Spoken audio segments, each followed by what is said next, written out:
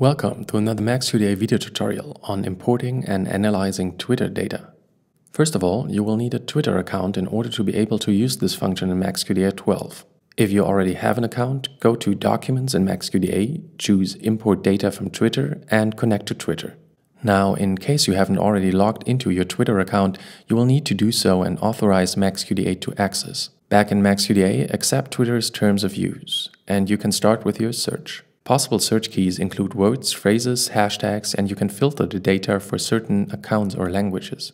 Please note that only text information can be imported, and that, due to the restriction by Twitter, your search is limited to 7 day timeframes. So, if you want to conduct a long term study, regular data imports from Twitter are advisable.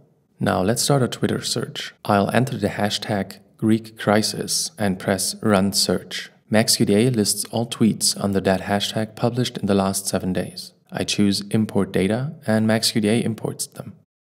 This window opens then. Here I can select certain hashtags or usernames for auto-coding, which means that the whole tweet in which that hashtag appears will be coded with them. The hashtags and usernames are sorted by quantity. Press CMD on Apple or Control on Windows if you want to select several hashtags at once. Activate the green check marks and press OK. In the same way, I'll choose some of the usernames from the list and start the autocode process once I'm finished. As you can see, the document browser now contains a spreadsheet with all tweets I just searched and all available information on them. All selected hashtags and usernames are now listed as codes in the code system. This enables you to, for example, find all tweets by one specific user and a high number of tweets by activating the document and the relevant code. As usual, the results will then be listed in a retrieved segments window.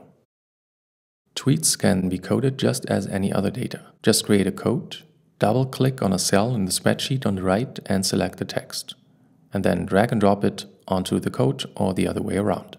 Working on your data with this combination of automatic data coding and individually created codes will provide you with some interesting options for your qualitative analysis. With help of the Code Relations browser, for example, you can find out how often one of your codes overlaps with a certain hashtag, and you can have all relevant examples displayed. There are many more MaxQDA tools that you can use to analyze your Twitter data. Find detailed descriptions in the MaxQDA reference manual, which you can either download from our website or find in MaxQDA under Help MaxQDA Reference Manual.